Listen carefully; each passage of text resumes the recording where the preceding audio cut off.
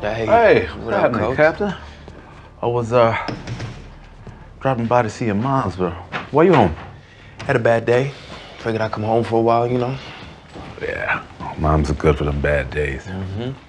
Uh, Jordan told me you had a scrimmage tonight, so I'm guessing. They gave me an opportunity and I blew it. Ooh,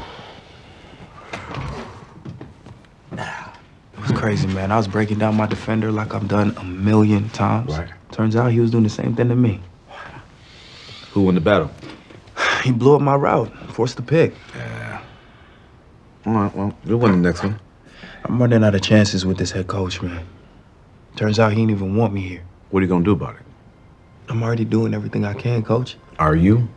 One of the biggest lessons I ever learned when I was in college was that I was no longer the best player on the field. I just wasn't. And uh, it hurt my ego, but it was true. So you saying all these dudes is better than me? Absolutely. I'm playing. No, what I'm saying is now you're on a team full of Spencer James. So the only way you can stand out is to outwork all of them. I'm already working so hard, man. Not enough. Then what's enough? It's never enough. Look, you gotta get to the point where nothing is ever good enough. And when that happens, when you embrace that grind, sky's the limit. Billy, Hey. you want me to get another hot chocolate for you? No, you can have mine. I gotta get back to the beach house. Stay up. I appreciate you.